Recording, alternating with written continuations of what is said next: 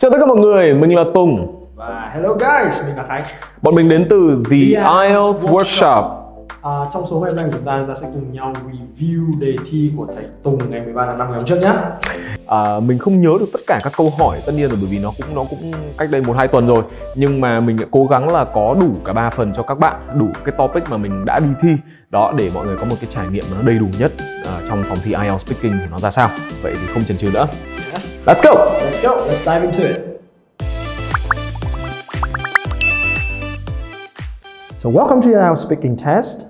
What's your name? so my full name is Dang Tran Tung but you could call me Tom or Tommy or Tommy Lee Jones Can I see your identification, please? Thank you. Uh, first of all, let's talk about what you do. So I'm an IELTS teacher, and I've been doing so for the better part of the last seven or eight years. Uh, so, what is the best part about your job? I think the most enjoyable aspect about what I do is the ability to meet people from all walks of life and having the chance to learn as much from them as they do from me. Okay, so let's talk about views. So, does your city have any good views? Well, Hanoi is not really, you know, synonymous for its views. Uh, in fact, I think uh, the city skyline it's quite depressing. But I would imagine if you go up to one of the uh, skyscrapers in the city, like Lotte Tower, where they have a sky deck or an observatory, you could technically get a pretty good view. But with all this pollution, I don't think it will be much of a view. What is the best view that you've seen then? Um, so the most spectacular view that I've seen, bar none, is uh, the view that I got in Hong Kong. So I went up to this um, place called the Victoria Peak, which is one of the must-go uh, spots whenever you in Hong Kong. And um, you pretty much get like a full frontal, unobstructed, 360 degree view of the harbor below, and you get like the city, the CBD area, and some of the nature and the bay. And overall, it's just a really spectacular view. So, are you willing to pay more for a hotel room with a good view? Uh, I think it just really depends on the city. Um, most of the time, I think of hotel rooms or Airbnbs as like simply places to to crash, um, to sleep, uh, because uh, the places that I usually travel to have so much to offer uh, outside of your hotel room. So I usually don't, you know, uh, splurge on a room with a nice view. But if I find myself in a city where there's not much to do, and most of what I will be doing during the day is uh, just lounge about the hotel room, then I will pay for an upgrade. Okay. Uh, finally, let's talk about water sports. Do you play any water sports? Well, when you think of water sports, usually conjure up images of like really adventurous activities, but I guess the most adventurous water sport that I've ever played is swimming. It's, you know, pretty dull, but um, that's kind of um, paradoxical because in Vietnam or in Hanoi specifically, there are so many bodies of water, you would imagine people would be more into water sports, but that's obviously not the case, at least not for me. Which water sport would you like to try in the future? Um, that's a good question. I think I'll give uh, wakeboarding a go. Uh, from what I've seen on TV and from what my friends have told me, uh, it's a pretty interesting sport to play. Uh, but with all the travel restrictions in place, I don't know when I will get myself to a place where I can play the sport. That's the end of part one. Let's move on to part two. In the second part of the test, I will give you a topic and I'd like you to talk about it for one to two minutes. You have one minute to prepare and two minutes to speak. Do you understand? Yes, I do. Here's your pen and paper.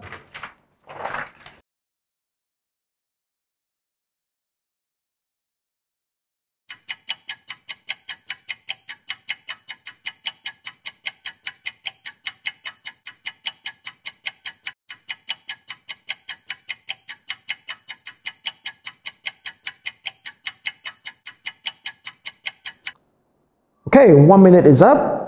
You can start whenever you're ready. Okay, so uh, as technology progresses, you would think that technological devices and gadgets would become more intuitive and easier to use, but that was obviously not the case with the thing that I bought. Uh, it's called the gimbal, uh, which is kind of a, a, camera stabilizer. And I bought it at the Hong Kong airport, uh, my memory serves me right. And at the time, we were traveling through Hong Kong, and my wife suggested that I should make travel vlogs, uh, given that I travel so much.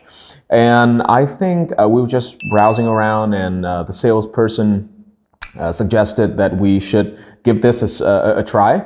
And uh, I think I paid like 300 bucks for it, which at the time I thought it was criminally expensive because it was 300 bucks for what was tantamount to uh, basically a selfie stick. And um, so it was extremely difficult to use at first uh, because of a number of things. Uh, first of all, it's the interface. Now, I'm not the most tech savvy person in the world, but at the same time, I don't think of myself as a technophobe either. Uh, but the software that accompanies uh, the device was just really um, challenging to kind of navigate. Um, the device itself was also really uh, kind of awkward to hold and, and maneuver. It was really hefty, and I guess I, I was just really inexperienced when it comes to camera equipment. But um, after a few days of using it, I slowly got the hang of it, and it became uh, a lot easier to use and um, the difference that it makes to the you know quality of the videos and the vlogs was just night and day. I mean, uh, the shots were uh, a lot more stable, and it, it just feels like something that was um, that is professionally produced rather than something that an amateur home vlogger uh, puts out on the internet. And uh, so after I've uh, enjoyed uh, the device, I also bought it for. Okay, your time is up. Perfect. So we just talked about something you bought but was difficult to use at first. And now I'd like to discuss a few more questions related to consumption. Do you need to buy the latest version of everything? Um, no. I am utterly opposed to people going out there and buying the supposedly coolest or most innovative permutations of the things that they have already owned because I think uh, when something is produced, uh, there should be longevity to them. Um, you know, the, the user, the consumer should be able to get as much use out of them as possible and they should last uh, ideally a lifetime. Uh, at least uh, that's what I think about uh, everything that I have bought. Um, you know, everything that I've bought, whether it's technology or clothes or footwear, I mean, they're built like a tank and they practically last a lifetime. And I think, uh, given that uh, the, this throwaway society that we're living in right now, and you know, given how much waste we're producing every year, the only ethical choice that consumers can make is to buy things that last. Why do so many people buy things with logos on them nowadays? Uh, I think it just uh, comes down to a few key reasons. Just really depends on the category of the product itself. Um, so when it comes to clothes, uh, when people wear uh, clothes with like uh, uh, recognizable prints or, or, logos on them, I think of that as um, style by association. So uh, people think that they will be uh, automatically stylish or fashionable if they associate themselves with certain brands, um, brands that are kind of trendy. So, um, but it, it's not so much vanity uh, when it comes to technology, for example. I think uh, a recognizable logo, um, brand recognition, if you will, uh, lends credibility to the product that people purchase. And given the, the breadth of, of choice that we are offered nowadays, uh, going with uh, something that is familiar, uh, I think gives us peace of mind that the thing is has good quality and uh, it comes from a reputable source. Should companies keep making things that people use for a short time and throw away? Um, so as I was saying, uh, I'm really against the idea of like just keep producing uh, things that are disposable. Uh, but then again, uh, from a business perspective, um, I could see that um, a business has to be financially viable, and in order to do that, uh, they have to keep making products, then they have to be able to sell them uh, because a company is responsible for the livelihood of so many people. So if people uh, consumers, I mean, uh, only buy things once and just keep them for the rest of their lives, obviously the economy will be uh, in tatters, and um, you know people will be jobless because you know there there will be the demand would increase uh, decrease. I mean uh, dramatically. So I think um, I think sometimes it is okay for companies to keep producing things that uh, people will throw away after a short time, but ideally. Um, all businesses should strive towards uh, permanence, uh, longevity, and sustainability. Okay, thank you very much. That is the end of the IELTS speaking test. Vâng, và vừa rồi đó là cái uh, phần thi của mình uh, hôm uh, 13 tháng 5. Thực ra mình không nhớ cụ thể cho mình trả lời cái gì trong phòng thi, mình chỉ nhớ cái câu hỏi thôi. Uh, và lúc nãy thì mình cũng trả lời là gần như là như mới luôn. Đấy thì không biết là ừ. Khánh thích cái gì ở trong phần trả lời đấy nhỉ? À, là một giám khảo bất đắc dĩ thì uh, thật sự là Khánh rất là ấn tượng với cả cái phần vocab, uh, đặc biệt là mình À, nếu mọi người đã theo dõi uh, thầy đặng trần tùng bấy lâu nay rồi thì mọi người đều biết là vocab là một trong cái điểm mạnh nhất của thầy tùng um, đâu đó thì mọi người cũng thể nhìn thấy được là cái độ fluency nó hết sức là tự nhiên mặc ừ. dù là các bạn không các bạn đừng nghĩ rằng là những cái ấp ở đấy nó là một cái gì đấy mà nó uh, quá là gọi là gì nhỉ bị bị trừ điểm trong phòng thi đúng không cái đấy thực sự là một cái mà người bản địa cũng làm rất là nhiều yeah. đó um, và đồng thời là pronunciation hay là cái phát âm đúng không mọi người chú ý rằng những cái tông giọng cái đoạn lên xuống của thầy tùng là những cái điểm nhấn mà chắc chắn là mọi ý để có thể đạt được cái độ trôi chảy giống như thầy Tùng nhá. Okay, well, feel pretty good about myself.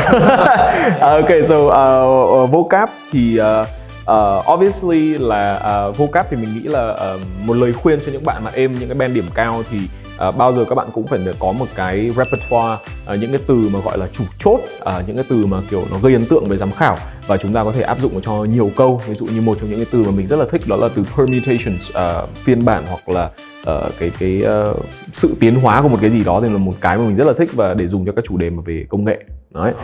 Uh, mình mình không pinpoint được những cái đó ngay lập tức trong thời điểm bây giờ nhưng mà basically cái lời khuyên của mình cho tất cả các bạn đó là có một cái repertoire những cái từ vựng mà kiểu advanced để dễ áp dụng. Đấy đừng đừng chọn từ cụ thể quá. Uh, phát âm pretty good. Uh, It's pretty good. Pretty good. Yeah. pretty uh, ở the IELTS work ở the, ở the IELTS workshop thì uh, có rất là nhiều các uh, thầy cô mà kiểu phát âm approach kiểu uh, native speaker mình thì kiểu mình phát âm mình hơi đi xuống uh, over time uh, bởi vì mình cố cố học nhiều giọng quá cố học, học kiểu giọng anh giọng mỹ uh, xong rồi giọng giọng úc rất là fail uh, xong cuối cùng bây giờ không biết giọng mình là cái gì nữa À, nhưng mà nếu mà có một lời khuyên à, dành cho các bạn à, rút ra được từ các câu trả lời vừa rồi à, thì à, bên cạnh những cái khía cạnh mà cosmetic như kiểu um, uh, vocab này như kiểu phát âm này.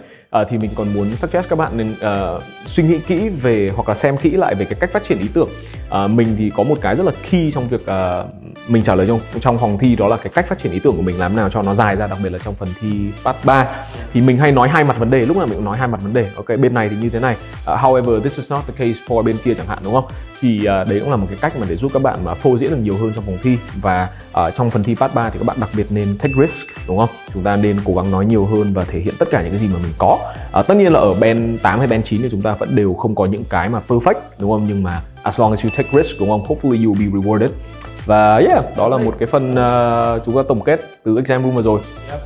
Nếu mà các bạn thích video này thì hãy click like and please press also press the subscribe button down below. Rất, rất hai nút rất là sát nhau mà.